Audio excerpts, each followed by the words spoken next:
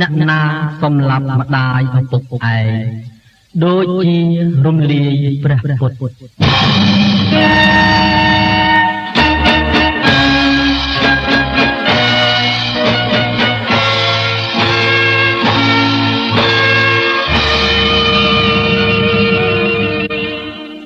ជនណាសំឡាប់មេដាបៃតាទទួលទោសាដែលមាន ឈ្មោះថាអនន្តរិយកម្មនរុកខាំងទុករាប់សែ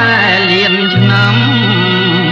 ទទួលខ្ទង់ឈាមពងច្រំខំពំទុកជាអាទឹកភ្នែកម៉ែឪជ្រោះជ្រៅល្វឹងល្វើយហើយមិន រួចឡើយកិច្ចទៅនាងអើយកុំបីបំពី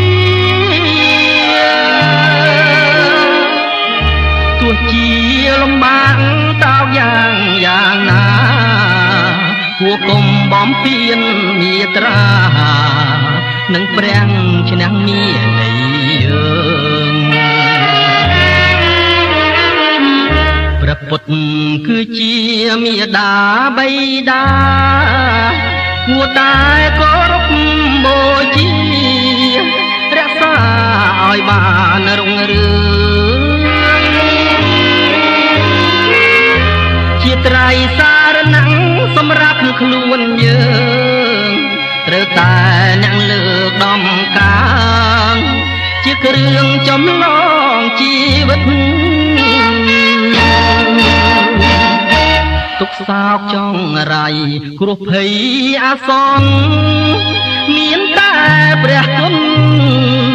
ទុកជាទំនុននៃព្រះបបិទ្ធព្រះធម៌ព្រះសង្ឃដែលជានិមិត្ត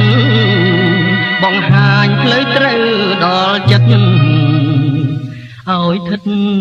ក្នុងភពនិ ព្វាន